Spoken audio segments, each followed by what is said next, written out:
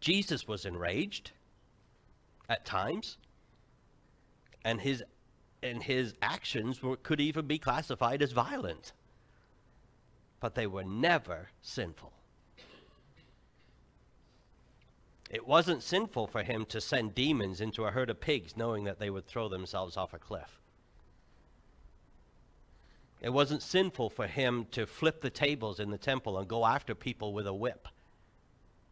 Because that was godly justice. The result of anger. We need to pay close attention to our angry moments. What are they encouraging us to do? Are those responses to that anger sinful? Then we need to repent of them.